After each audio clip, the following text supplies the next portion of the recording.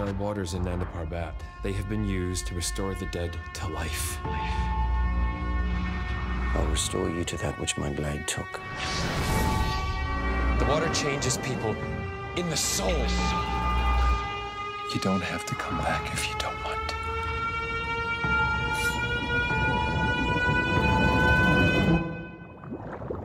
to.